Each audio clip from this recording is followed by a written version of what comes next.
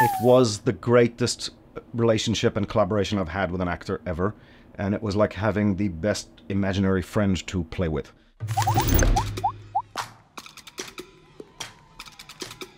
It started from just the idea of like what happens that very first morning in an arranged marriage when the wife wakes up and if the guy goes to work and she's just there and you have no manual to do this and it's really just about the fact that there is no manual for anything in life.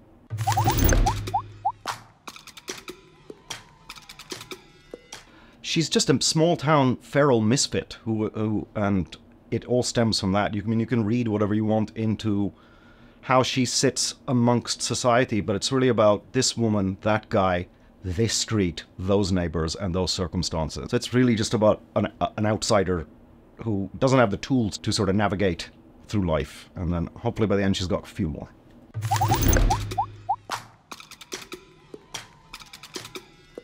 It was the greatest relationship and collaboration I've had with an actor ever, and it was like having the best imaginary friend to play with. The types of performances I go after are quite specific, it's all behavioral, and about removing the intellectual approach to it. Everything Uma does is sort of impulsive and in the present moment. Radhika and my work was to constantly root ourselves in the body, in the present moment, and, and react from instinct and intuition.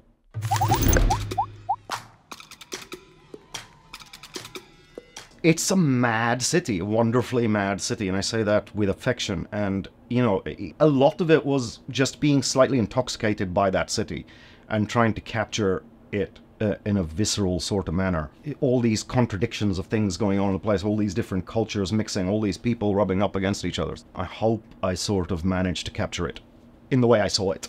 And maybe because I'm not from there, I also saw it from a slightly outside perspective.